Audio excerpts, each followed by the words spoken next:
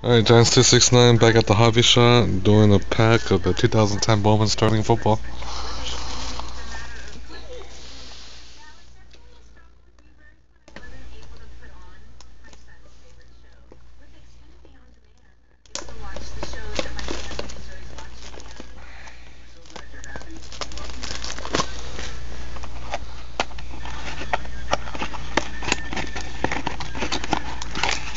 Oh, how does this feel thick? Yeah, it's pretty thick.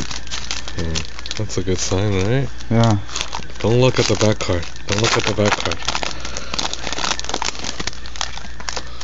Terrence Cody. James Starks. Jersey. Sam Bradford. Oh, that's a nice one. Nice jersey card. Mike, Mike Williams, auto. auto.